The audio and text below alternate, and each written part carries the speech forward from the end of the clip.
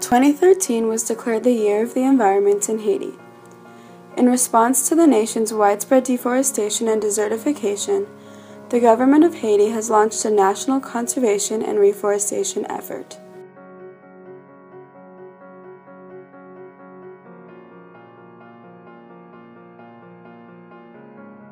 Deforestation and poverty in Haiti are closely linked.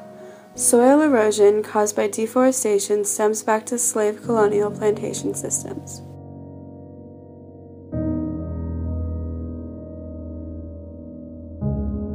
But during the colonial period, forests were cleared to support cash crops. This major shift from forests to plantations sapped the soil of its nutrients and led to soil erosion. In 1804, the people of Haiti overthrew the French, gaining their independence from slavery and colonialism. However, this victory came at a terrible cost to the environment. The newly formed government came to rely heavily on the timber export market in order to settle the crippling 90 million franc debt to France that had been part of the independence agreement.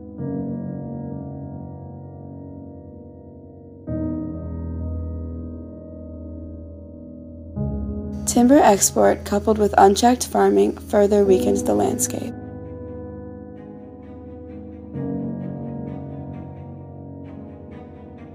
The timber and farming industries provide one of the few ways that poor laborers can generate income.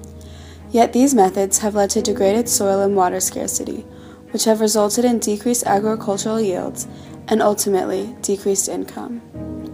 Although only 20% of Haitian land is considered arable, 50% is currently under agricultural production. Lacking the stabilizing root systems of trees, the land is visibly eroded. On average, 6,000 hectares of soil are lost each year to erosion, and according to USAID, one third of all land is severely degraded. The current rate of deforestation is exacerbated by the use of wood or charcoal as primary fuel for many Haitians.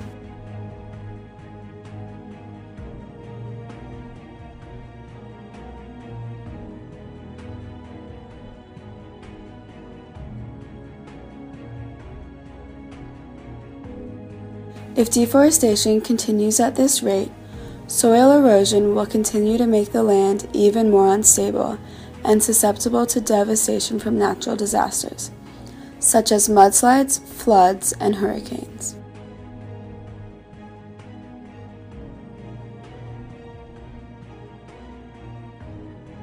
This is a devastating figure, especially when compared to her neighbor, the Dominican Republic, which has 40% forest cover.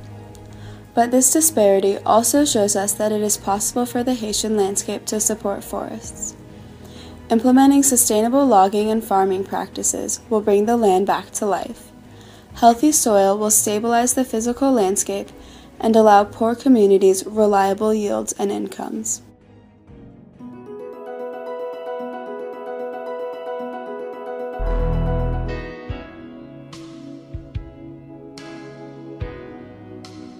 If we all work together with the help of the government, we can double Haiti's forest cover by 2016, and this upward trajectory can continue.